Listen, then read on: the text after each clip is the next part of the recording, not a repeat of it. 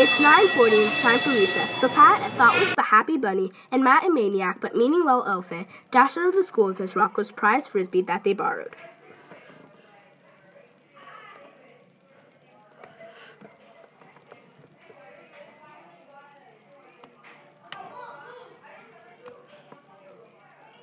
One minute has passed, and Pat and Mat are having a grand time frolicking with the good old frisbee. Tana, goody two shoes who is always respectful and responsible, comes over and warns Pat and Mat to be careful because the frisbee is valuable to Miss Rocco.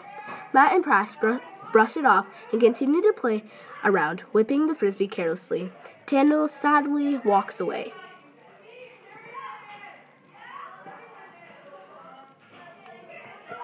Mat and Pat continue to play around.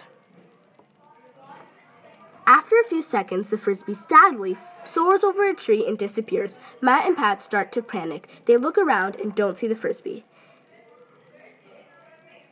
Tano sees what happens and immediately goes tells Miss Rocco. Miss Rocco walks up to Pat and Mat, knowing the teacher have a problem, and she wonders what has happened to her frisbee. Mat and Pat look around nervously and lie. They've returned it to the classroom, they explain. Miss Rocco looks at them disappointed and clarifies that they don't have to lie and that in the future, when you lie, you get in even more trouble than you would if you had been honest. Mat and Pat apologize and say they'll be honest from now on.